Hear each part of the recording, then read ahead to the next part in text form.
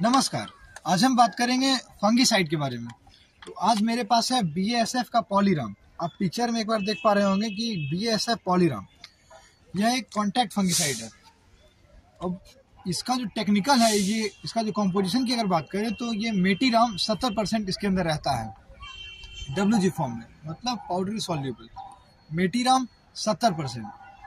और अब बात करें ये कौन कौन से डिज़ीज़ को कंट्रोल करता है। तो ये powdery mildew downy mildew early blight late blight जिसको कि अगेती झुलसा और पिछती झुलसा भी बोला जाता है। मतलब झुलसा रोग को भी ये कंट्रोल करता है।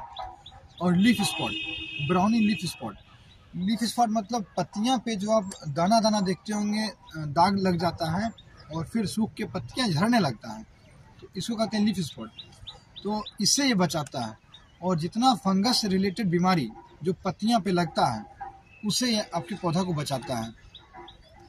क्योंकि ये कॉन्टैक्ट फंगिसाइड है तो जितना भी पत्तियों से संबंधित बीमारी है जो फंगस से लगता है उसको ये बचाता है। अब बात करें इसका प्रयोग हम कहाँ कहाँ कर सकते हैं? तो इसका इस्तेमाल हम हर एक साग सब्ज़ी में कर सकते हैं। जैसे टमाटर मिर्च बैगन मटर सेब ये सब में इसका हम इस्तेमाल कर सकते हैं। कर सकते हैं। तो जितना भी कॉन्टैक्ट डिज़ीज़ है जैसे फंगल डिज़ीज़ है उसको ये कंट्रोल करेगा। और इसके डोज के बारे में अगर बात करें तो 400 ग्राम पर एकड़। एक बार फिर से देख लें पॉलीराम 400 ग्राम पर एकड़। अब इसका इस्तेमाल हम बीमा, बीमारी आने से पहले भी कर सकते हैं और बाद में भी कर सकते हैं। देखिए दो फ़ायदा होता है। अगर हम इसका इस्तेमाल पहले कर रहे हैं तो जो फंगस कोई आने नहीं देगा और हमारा पौधा स्वस्थ है तो स्वस्थ ही रहेगा। और जब हम फंगस आने के बाद इसका इस्तेमाल कर रहे हैं तो जब बीमारी आ गया और फिर हम इसका इस्तेमाल कर रहे हैं तो स्वाभाविक है, पौधा पे कुछ प्रभाव पड़ता है। तो इसीलिए बेहतर ये रहेगा कि हम इसका इस्तेमाल पहले से करते रहें ताकि फंगस ना आए। और फंगस आए तब तो करना ही है। तो ये खास तौर पे पाउडरी मिल्डी और डाउनी मिल्डी को कंट्रोल करता है। तो इसलिए हम इसका इस्तेमाल करेंगे। और एक बात, इसका इस्तेमाल हम इंसेक्टिसाइड के साथ भी कर सकते हैं और सिस्टमेटिक फंगिसाइड के भी साथ भी कर सकते हैं। क्योंकि ये कॉन्टैक्ट फंगिसाइड है तो हम सिस्टमेटिक फंगिसाइड के साथ भी करेंगे।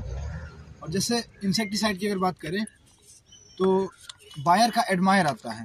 अब एक बार देख पा रहे होंगे बायर का एडमायर ये इंसेक्टिसाइड है। इसके अंदर इमीडा क्लोरोपिड रहता है, सत्तर परसेंट। ये भी डब्ल्यू जी फॉर्म में होता है। तो अब इसके बारे में बात करें तो ये एक टैंक में एक पाउच देना है। दो ग्राम का ये पाउच आता है। एक टैंक में एक पाउच देना है। दो ग्राम का ये पाउच है, एक टैंक में एक पाउच या फिर कंपनी तो रेकमेंड कर दिया कि 12 लीटर में एक पाउच देना है। इसी हिसाब से हम इसका इस्तेमाल करेंगे। और इसका इस्तेमाल हम किसी टोनिक के साथ भी कर सकते हैं। जो प्लांट ग्रोथ रेगुलेटर होता है, जैसे टोनिक कहते हैं ना विटामिन का स्प्रे कर रहे हैं, उसके साथ भी इसका इस्तेमाल हम कर सकते हैं।